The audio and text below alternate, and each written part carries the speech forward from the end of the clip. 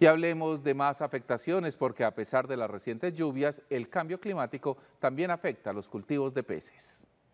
Según la Autoridad Nacional de Acuicultura y Pesca, en Antioquia hay cerca de 2.800 granjas acuícolas registradas. Cuando bajan los caudales de agua, se calienta la temperatura, se presentan eh, propagación de enfermedades y todo esto ocasiona una afectación epidemiológica en el cultivo.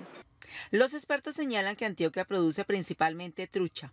No es solamente por cambio climático o por temas asociados con niña, con, perdón, con el niño, que es menor intensidad de lluvias, sino también por las condiciones propias de la cuenca que afectan a los piscicultores, en este caso de trucha en Antioquia. La Autoridad Nacional de Acuicultura y Pesca recomienda hacer un uso eficiente del agua e implementar tecnologías como la recirculación de agua, entre otras estrategias. Ministerio TIC